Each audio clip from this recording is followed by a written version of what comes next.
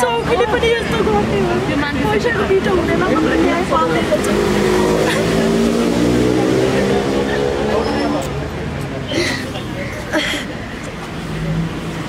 उसको बुढीले चाहिँ जति पनि जे पनि मुख छान मिल्ने। मेरो सोह्र वर्षको छोरीलाई कस्तो कस्तो शब्द पढाएको छ मेरो बच्चालाई। अरूसँग झगडा पर्छ मेरो छोरीको फोटो छोडेर हालिदिन्छ के भने उसले आश देखाउनु नहुने थियो नि त। यति साढे पाँचमा आयो चारवटा सिलिन्डर आयो बहिनी तपाईँको सहयोग खाता खोल्नुहोस् मलाई त्यति आश नदेखेको ऊ भन्नाले को दिदी? ऊ भन्नाले को? सागर थापा। र साढे पाँच लाख कमला बहिनी साढे पाँच लाख चारवटा सिलिन्डर आएको छ। तपाईँले भाइको खाता चलाउनु भएको रहेछ। तपाईँले आफ्नै खाता खोल्नुहोस् भनेर जानुभयो होइन? अनि होला भनेर भन्यो। खुसी भयौँ हामी। अनि पछि उहाँले अनि एक हप्ता पछाडि हामीले खाता खोलिसकेपछि दाई के हो त? मिडियाले हामीलाई पैसा घरमै ल्याएर दिनुहुन्छ कि खातामा हालिदिनुहुन्छ? हामीले खाता खोल्यौँ। मैले मेरो भाइकोबाट मैले खाता खोलेको छु। मेरो नागरिकता थिएन भन्दाखेरि उहाँले उहाँको बुढीले तेरो घरमा दसजना मिडिया इन्टरभ्यू लिन थिए भनेर चाहिँ मेरो नानीलाई चाहिने नचाहिने मुख छोड्नुभयो कि? दसजना मिडिया के अरे पत्रकार तेरो घरमा गएर तेरो छोरीले दसचोटि पत्रकारसँग तेरो छोरी सुत्दाखेरि एकचोटि तिमीहरूले सोचेको शान्ति ठुलो मम्मी कस्तो? भनेर मेरो छोरीलाई सोह्र वर्षको छोरीलाई पत्रकारको अप्टी आरोप यस्तो नराम्रो शब्दहरू बोल्नुभयो क्या उहाँले। उहाँ बोलिसकेपछि हामीले बौद्धमा निवेदन हाल्यौँ निवेदन हालेपछि बौद्धबाट चाहिँ उहाँ उसकै एरियामा चाबेल एरियामा कुन चौकी हो नानी र मेरो जेन्सा दिदी जानुभयो निवेदन हाल्न। निवेदन हालेको भोलिपल्ट त्यो निवेदन उसले निकालेर चाहिँ के बाहना गरेर निकाल्यो अनि उसको बुवा हो कि ठुलो बुवा हो कि को बित्नु भयो भनेर हामी उहाँ गुल्मी जाँदैछौँ। उताबाट आएपछि छलफल गरौँला भनेर भन्नुभयो। उताबाट आएपछि चाहिँ उहाँले जस्तै मेरो मेरो नागरिकता कमला खड्का छ भने खड्काको कमला मात्रै राखेर खड्का उगारेर चाहिँ खड्काको थर मेटेर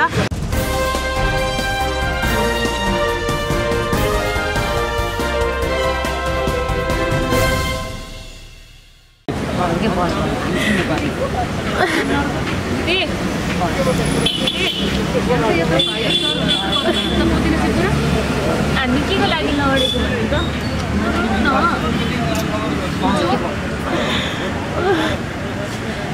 जो किन हामी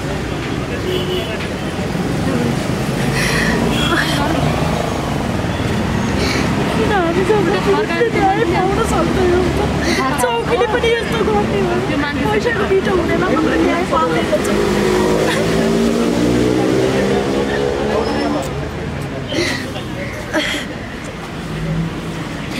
उसको बुढीले चाहिँ जति पनि जे पनि मुख छान मिल्ने मेरो सोह्र वर्षको छोरीलाई कस्तो कस्तो शब्द छ मेरो बच्चालाई अरूसँग झगडा पर्छ मेरो छोरीको फोटो छोडेर हालिदिन्छ उसले के भने उसले आश देखाउनु नहुने थियो नि त यति साढे पाँचमा आयो चारवटा सिलिन्डर आयो बहिनी तपाईँको सहयोग खाता खोल्नुहोस् मलाई त्यति आश नदेखेको ऊ भन्नाले को दिदी ऊ भन्नाले को सागर थापा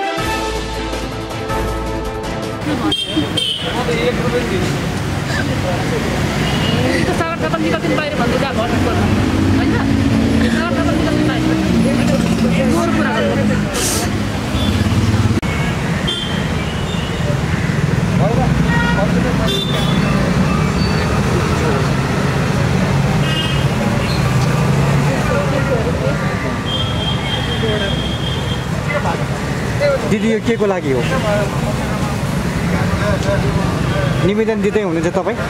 हजुर सर म पनि सागर थापाबाट एकदम पीडित मान्छे हो। तपाईँलाई के प्रब्लम देखाएर कसरी तपाईँलाई ठग्यो? कसरी पीडित हुनुभयो सागर थापाबाट? योभन्दा दुई वर्ष अगाडि मेरो नानीलाई पथरी भएको थियो होइन? पथरीको उपचार गर्नलाई आफूले कुनै पनि रकम जुटाउन नसकेर नानीको पथरीको अपरेसन गर्न सकिरहेको थिइनँ। उसले नै अब नानी म नानीको पथरीको अपरेसन सबै मिडियामा गएर मिडियामा कुरा राखेर सहयोग जुटाएर चाहिँ नानीको पथरीको अपरेसन गर्नुपर्छ भनेर चाहिँ उहाँले हामीलाई पोहोर भदौको यस्तै दुई तिन गतेको कुरा होला। हामीलाई मिडियामा पुर्याउनु भयो होइन? भेट चाहिँ कहाँनिर भएको? तपाईँको पहिलो भेट। पहिला पहिला मूलपानी बस्नु भएको थियो उहाँ तिन वर्ष मूलपानी बस्नुभएको थियो। यस्तो खै किराना पसल क्याफे खोल्नु भएको थियो। मूलपानीमा पनि उहाँले चाहिँ चार पाँचजनालाई विदेश पठाउँछु भनेर चाहिँ अनि कोहीसँग दुई लाख कोहीसँग डेढ लाख कोहीसँग तिन लाख गर्दाखेरि पाँचजनालाई उहाँले त्यसै गरी चाहिँ ठगिरहनु भयो रहेछ कि। अनि त्यहीँ उहीँ मूलपानी हुँदाखेरि म पनि मूलपानी बसेको अहिले अठार वर्ष भयो। त्यतिखेर उहाँको बुढीले चाहिँ मलाई बहिनी बनाएको हो होइन? बहिनी बनाएको हो अनि त्यहाँबाट अब त्यतिखेर अब मलाई अलिअलि म त गरिब मान्छे मेरो बुढोले छोडेर हिँडेको अलिअलि सहयोग गर्नुहुन्थ्यो त्यो भएको कुरा गर्नुपर्छ मैले गर्नुहुन्थ्यो। अब त्यो विश्वासले मलाई मैले अब उहाँले मिडियामा कुरा राखेर नानीको अपरेसन गराउनुपर्छ भन्दाखेरि उहाँले त्यसरी त्यसरी भन्दाखेरि अनि हुन्छ होला अब गर्नुहुन्छ होला दाइले भनेर चाहिँ मिडियामा गयौँ होइन। अठाइस उन्तिसवटा मिडियामा दुई दिनसम्म इन्टरभ्यू लिनुभयो। हाम्रो नानीको फोन नम्बर हेरेर मेरो चाहिँ फोनै थिएन त्यतिखेर भर्खर लकडाउन घरबाट आएको थिएँ। अनि अब मेरो फोन नम्बर थिएन। अनि नानीको नम्बर पनि उहाँले मिडियामा भन् हाल्न दिनु भएन हामी मिडियामा पैसा जम्मा गरेर देश विदेशबाट आएको सहयोगबाट तपाईँको छोरीको उपचार गराइन्छौँ भनेर भन्नुभयो। सा अनि पछि त्यसको हामी मिडियामा गएको एक हप्ता पछाडि अनि त्यहाँबाट उहीँ मुलपानीमा बुढाबुढी नै माथि डाँडामा आएर मुलपानी हाइट डाँडामा आएर साढे पाँच लाख कमला बहिनी साढे पाँच लाख चारवटा सिलिन्डर आएको छ। तपाईँले भाइको खाता चलाउनु भएको रहेछ तपाईँले आफ्नै खाता खोल्नुहोस् भनेर जानुभयो होइन? अनि होला भनेर भन्यो खुसी भयौँ हामी। अनि पछि उहाँले अनि एक हप्ता पछाडि हामीले खाता खोलिसकेपछि दाइ के हो त मिडियाले हामीलाई पैसा घरमै ल्याएर दिनुहुन्छ कि खातामा हालिदिनुहुन्छ हामीले खाता खोल्यौँ। मैले मेरो भाइकोबाट मैले खाता खोलेको छु मेरो नागरिकता थिएन भन्दाखेरि उहाँले उहाँको बुढीले तेरो घरमा दसजना मिडिया इन्टरभ्यू लिन गएका थिए। गएका थिए भनेर चाहिँ मेरो नानीलाई चाहिने नचाहिने मुख छोड्नुभयो कि? दसजना मिडिया के अरे पत्रकार तेरो घरमा गएर तेरो छोरीले दसचोटि पत्रकार छ तेरो छोरी सुत्दाखेरि एकचोटि तिमीहरूले सोचेको शान्ति ठुल मम्मी कस्तो भनेर मेरो छोरीलाई सोह्र वर्षको छोरीलाई पत्रकारको अड्डी आएर पो यस्तो नराम्रो शब्दहरू बोल्नु भयो क्या उहाँले? उहाँ बोलिसकेपछि हामीले बौद्धमा निवेदन हाल्यौँ निवेदन हालेपछि बौद्धबाट चाहिँ उहाँ उसकै एरियामा चाबेल एरियामा कुन चौकी हो नानी र मेरो जेन्सा दिदी जानुभयो निवेदन हाल्न। निवेदन हालेको भोलिपल्ट त्यो निवेदन उसले निकालेर चाहिँ के बाना गरेर निकाल्यो अनि उसको बुवा हो कि ठुलो बुवा हो कि को बित्नु भयो भनेर हामी उहाँ गुल्मी जाँदैछौँ। उताबाट आएपछि छलफल गरौँला भनेर भन्नुभयो। उताबाट आएपछि चाहिँ उहाँले जस्तै मेरो मेरो नागरिकता कमला खड्का छ भने खड्काको कमला मात्रै राखेर खड्का उगारेर चाहिँ खड्काको थर मेटेर कमला बिक भनेर चाहिँ संसार उहाँले मेरो बेजेत मेरो पनि त इज्जत हुन्छ नि सर। मेरो बुढा चाहिँ मेरो बुढा गदाल हो होइन? गदाल मगर हो मेरो बुढा। म चाहिँ छेत्री मेरो माइतीहरू खड्का हो होइन? उहाँले त्यस्तो त्यस्तो शब्द बोलिदिनु भयो कि? बोलिदिएपछि हाम्रो नि त इज्जत हुन्छ नि होइन? माइतीहरूले त मिडियामा किन गइस् त्यो बोल्ने मान्छे को हो भनेर हरेक कुराहरू माइतीहरूले भन्दाखेरि मलाई कति नराम्रो भयो। म अन्धधन्दामा कसरी गएँ के गरेँ मलाई थाहा छैन भने त्यहाँ माथि नि पटक पटक जोसँग झ अस्ति नै जेन्सा दिदीसँग हिजो अस्तिको लकडाउनमा झगडा परिरहेको रहेछ। त्यतिखेर पनि हामी त्यतिखेर पोहोर रोएर हामी रोएको नानीको भिडियो जोडेर हाल्दैछ होइन? पटक पटक मेरो छोरीलाई चरित्र हिँड गरेर अरू अरूसँग झगडा पर्छ नि मेरो मेरो नानीको फोटो जोडेर हाल्ने बिना आवश्यकको टेन्सन दिने टर्चर दिने पनि त्यो पनि हो त सर होइन? किन म जस्तो गरिब पीडितले किन मैले न्याय पाउँदिनँ? म अहिले निवेदन दिन म यहीँ टेको चौकीमा अब जान गइ जान लागिरहेको छु।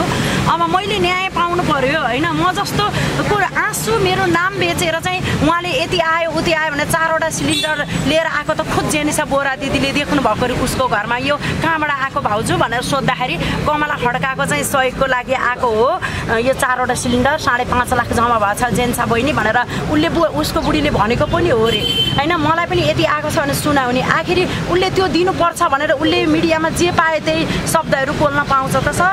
अति गरिसकेको छ कि सर? होइन म उहाँलाई जसरी के पनि उसले हामीलाई मिडियामा किन लानुभयो? होइन भने उहाँ लग उहाँबाट देश विदेशबाट खाइ नखाइ गरेर हाम्रो आँसु र दुःख देख्न नसकेर पठाउनु भएको रकम हाम्रो हातमा पर्नु पर्यो होइन? होइन भने पटक पटक उसले जुनसुकै उसमा नि किन हामीलाई हरेक थरीको टर्चर दिएर गाली बेजे जे पाए त्यही बोल्ने बच्चाको चरित्र हत्या गर्ने त्यस्तो पनि काम गर्न मिल्छ र सर। म लास्टै मेरो दिमागले काम गर्ने मेरो छोरी त मम्मी म झुन्डेर मर्छु। सागर थापाले पटक पटक किन यस्तो व्यवहार गर्छ? हजुरहरूको कुरामा किन मेरो फोटो अरू अरूसँग झगडा पर्दा मेरो फोटो हालिदिन्छ? त्यसले म मरिदिन्छु म कलेज पनि जान्न भन्छ कि मेरो बच्चाले। मेरो त्यत्रो भएको छोरी कहीँ केही भयो भने म के गर्ने सर? अवश्य नै अब निबन्ध लेख्न जानु गइराख्नु भएको छ। उहाँहरूले निबन्ध दिनु लेखिदिनुहुन्छ होला जाइरी पनि एप्रुभ गरिदिनुहुन्छ। त्यो अनुसारले उसलाई चाहिँ पाउनुपर्ने सजाय पाउनुहुन्छ होला नि त अब त। उहाँले त एकदम नि। सजाय होइन? हामी जस्तो गरिब मान्छेको नाम बेचेर आँसु बेचेर दुनियाँ दिमाले चरित्र हत्या गरेर उहाँले यसो गरी चाहिँ गर्नु भएन। उहाँले त यसरी चाहिँ कुनै हालतमा नि ऊ जेलबाट नछुटोस् जिन्दगीभरि जन्म कैदै बसोस् भन्न म चाहन्छु र हामीले हामी जस्तो ठगिएको मान्छे पीडित मान्छेले न्याय पाउनुपर्छ भन्न चाहन्छु सर म।